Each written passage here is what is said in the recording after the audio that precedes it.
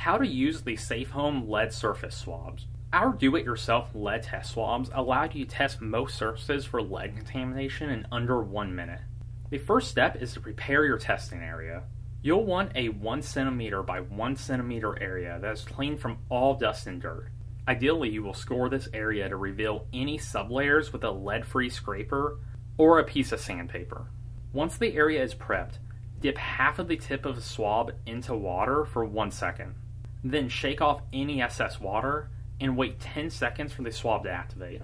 After the noted 10 seconds, rub the swab on the area you are wanting to test for 30 seconds with moderate pressure. Now, observe the color of the swab.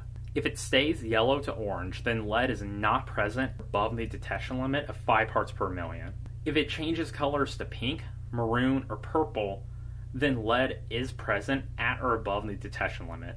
Because of this, we do not recommend using this product on any paint that is a shade of red.